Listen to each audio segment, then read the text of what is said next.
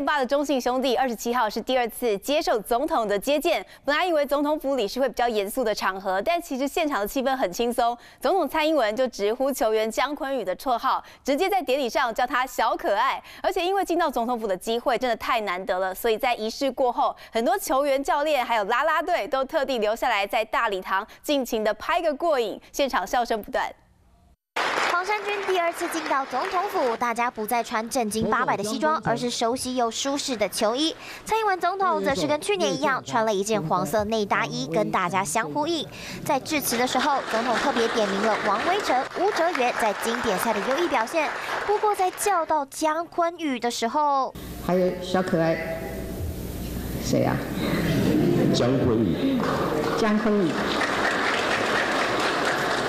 我以为很多人都会站起来，就是蛮荣幸，就是可以听到总统这样叫我，就是想说总统可能就可能会叫名字而已，就是没有。想到会叫我小可爱这样，就比较亲近的感觉。能够跟总统面对面，机会难得，可以进到总统府的里面，当然也要赶快拍照，好好的纪念一下。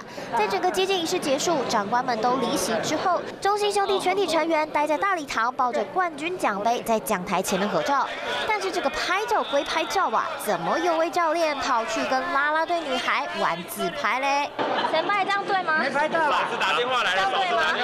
台单人。首席教练，首席教练。其实女孩们也都是第一次进到总统府，大家不只是觉得紧张又兴奋。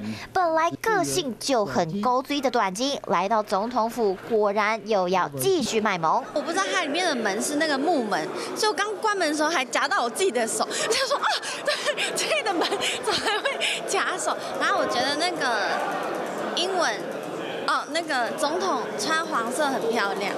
你刚很熟吗？对，像谁啊？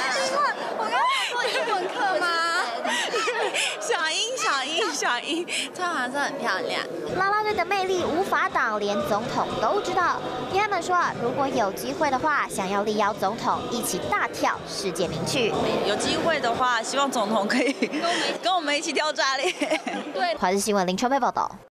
大家好，我是林依文。想要掌握多元的新闻资讯，当然也包括体坛动态，就要锁定华视新闻频道，还有订阅华视的 YouTube 频道，按赞、订阅、开启小铃铛。